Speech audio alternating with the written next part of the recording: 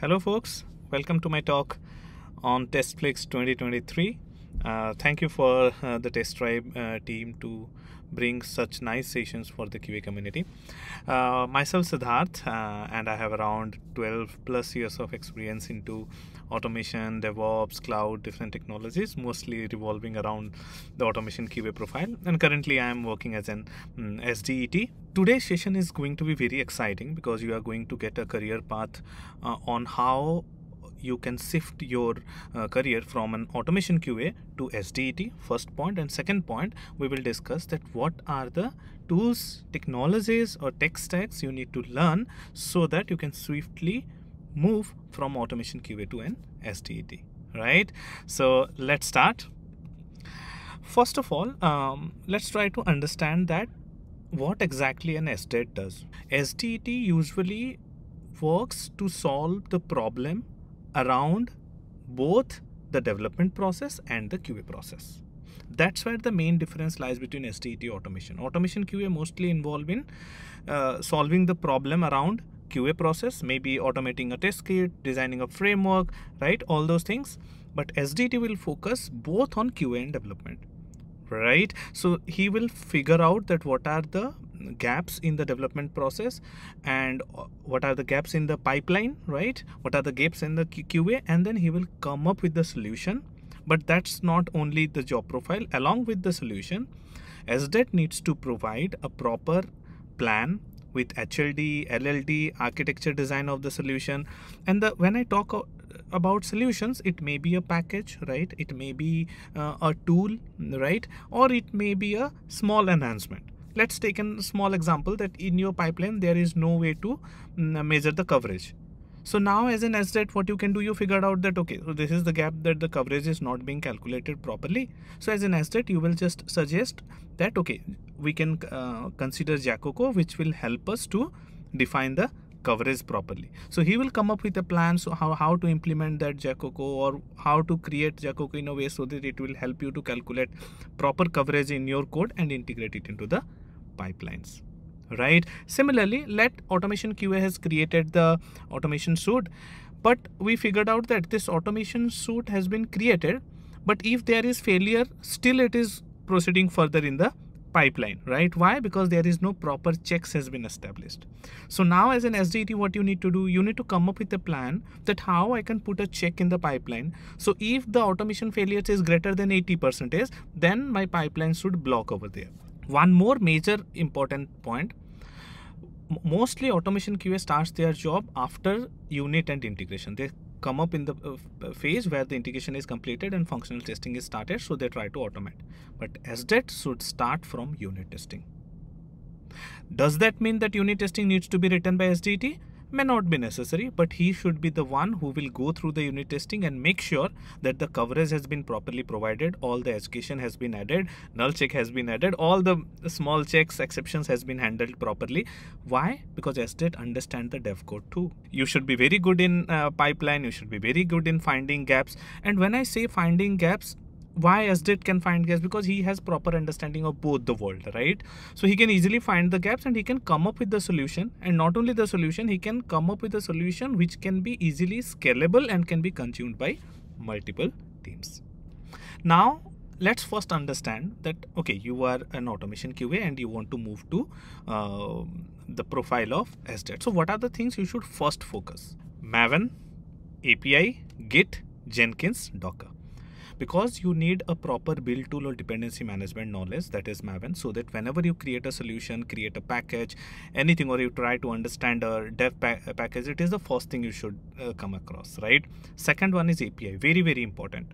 As an SDET, as compared to UI and mobile, API has much more priority because as an SDET, it is expected for you to involve in API backend service integration testing. That's why API very important. Git of course because you are going to contribute in dev code qa code you need to manage them. So proper knowledge of source code repository management with git is very important. Fourth as we discussed in the first slide also pipeline. You should have very good knowledge in pipeline. I have written jenkins because most of the folks used it but it is not constrained like okay you can only learn jenkins you can go with anyone. You can go with uh, circle ci bamboo aws code pipeline. Anyone is feasible but very good knowledge in pipeline. Because as an SDET, it is part of your job to fix the pipelines to understand build deploy test how to put checks and everything right? Fifth docker. Very very important as an SDET why? Because you need to uh, manage the test environment correct. You need to manage the test environment. You need to also contribute in the docker file creation or if there are any deployments failure you need to go and fix it right?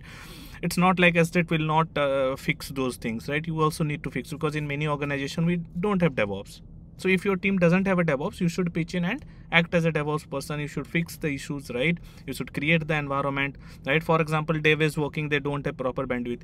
You go and create a, an environment for them, right? So they can first test and then you can uh, kind of uh, create another environment on top of it for QA right so now we are going to see that what i should learn in the five technologies that we have discussed before. So maven as i told dependency management what you should learn? You should learn about build lifecycle you should learn about plugin configuration profiles and properties repository management and dependency management.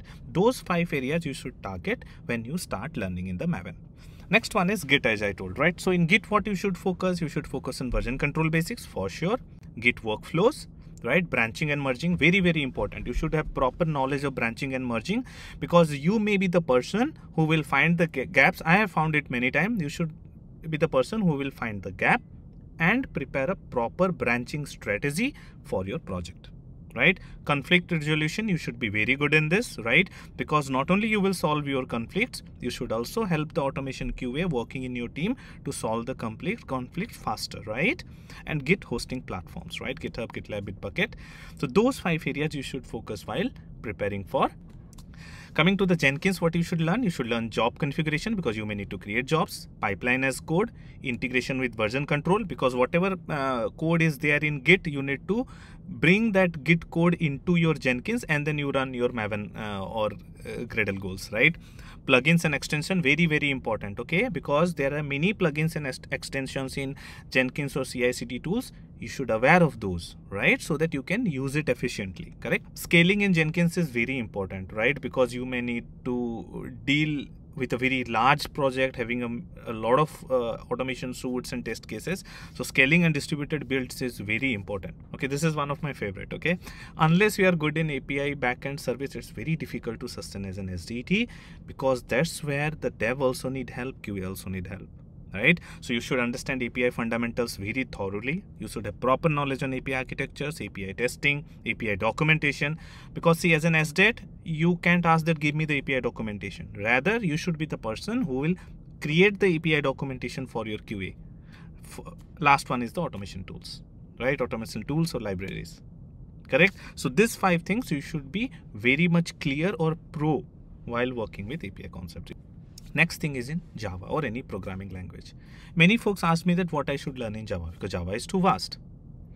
Before jumping into DS, algo and all those things, make sure you are a pro in string, array, list, map, exception handling. Why I'm again and again using pro? Because it's not like you just know how to run a loop in array and you are done no you should have proper knowledge. You should have every implementation of list and map. You should know about hash map you should know about linked hash map tree map right?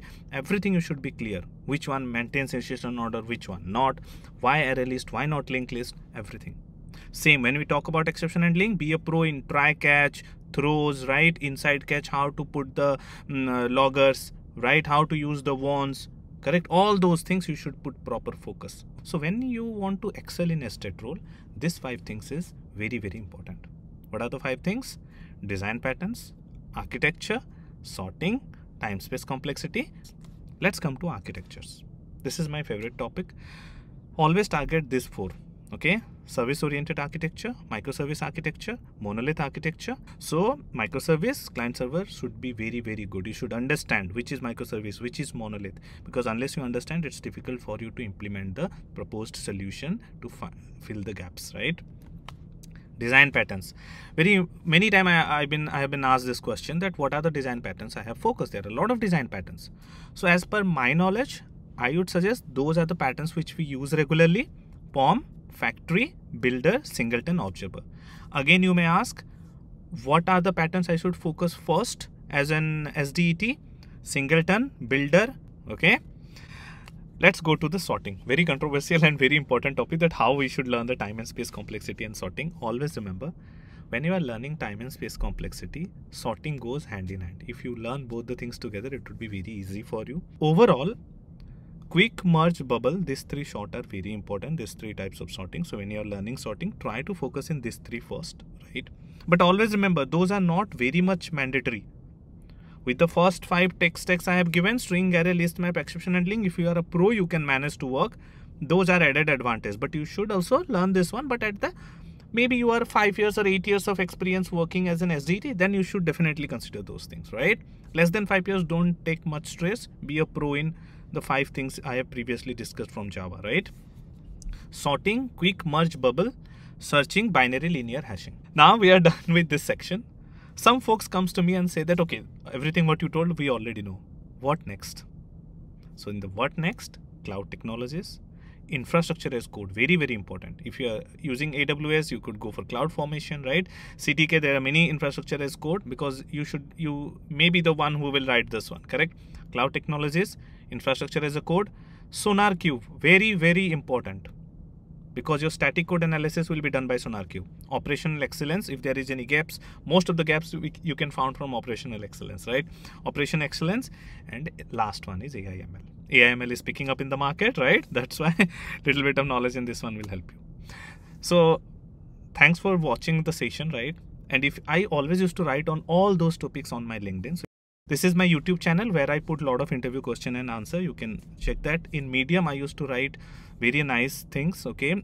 Recently i have written a very nice one on sorting okay? You can go and check that. This is my telegram group because sometimes you cannot follow every post on linkedin so i used to uh, share all the linkedin posts on my linkedin uh, on my telegram right? And this is my newsletter and uh, you can get a lot of things around what i have discussed today on my newsletter too so whatever i have discussed i have tried to merge everything into a course okay? This is my uh, course which i provide which has api ui mobile generative ai jenkins git docker. I try to club everything which is important right? Along with design patterns architectures everything.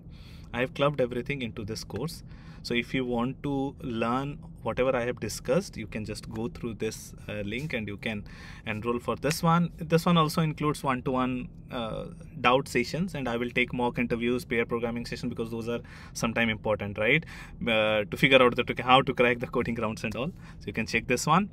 And as I told, whatever I have discussed, everything you can find in this talk details and important links. Just go to this docs, okay, this link, okay, you will find all the, I have given all the links, right, what to learn in Maven. Uh, for everything, I have given a blog link. You can go and learn. And I have a very nice course on generative AI uh, in collaboration with Test Tribe, obviously. And thanks to Anurag and Mahesh for that, right? Uh, who has uh, helped me a lot while creating this one.